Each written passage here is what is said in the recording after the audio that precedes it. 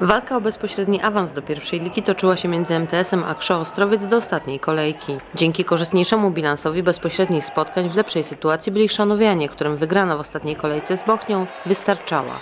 Zespół z Ostrowca musiał swój mecz wygrać i liczyć na potknięcie Chrzanowian. Tak się na szczęście nie stało i MTS pokonał na zakończenie ligowej rywalizacji bocheński Mosir 33 do 27. Mecz nie był łatwy, bo tutaj tak podejrzewałem, że, że nikt tutaj meczu nie odpuści i Bochnia yy, no, bardzo chciała wygrać, to było widać na boisku, dlatego było sporo walki, yy, która skutkowała wykluczeniami. No myśmy aż yy, w pierwszej połowie mieliśmy aż 16 minut graliśmy w osłabieniu, no ale udało się już później no, opanować sytuację i od, od początku drugiej połowy jak gdyby powiększaliśmy przewagę, no, która wzrosła aż do 9 bramek w pewnym momencie. Zwycięstwo w ostatnim meczu było doskonałym podsumowaniem bardzo dobrego sezonu w wykonaniu podopiecznych Leszka Wójcika. Cabani wygrali 16 spotkań, jedno zremisowali i przegrali tylko raz z Grunwaldem Ruda Śląska.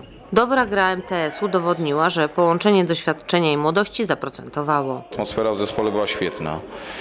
Yy, Chłopaki świetnie się dogadywali ze sobą, ufali sobie nie tylko, nie tylko na boisku. No i to dało, dało efekt. Ci młodzi zawodnicy z meczu na mecz grali, myślę, coraz odważniej, tym bardziej yy, efektywniej. Natomiast yy, ci yy, już doświadczeni no, no, pokazali, co potrafią. Ostrowiecki Krzo zagra w barażach. Ich rywalem będzie najprawdopodobniej Anilana Łódź. Jednak do spotkań barażowych zostało kilka tygodni, bowiem pierwszoligowcom pozostały do rozegrania jeszcze trzy serie spotkań. Krzo miało e, takie wzmocnienia, że, że cała siódemka z pierwszej ligi, znane nazwiska. Także nikt tutaj się nie spodziewał, że, że ich wyprzedzimy, także byliśmy e, raczej e, mm, tutaj skazywani na to drugie miejsce. No, udało się wygrać, z czego jestem bardzo, bardzo, bardzo szczęśliwy. Zawodnicy też, bo, bo, no, bo teraz jest e, spokojna głowa, sporo, sporo czasu, żeby się też przygotować do rozgrywek.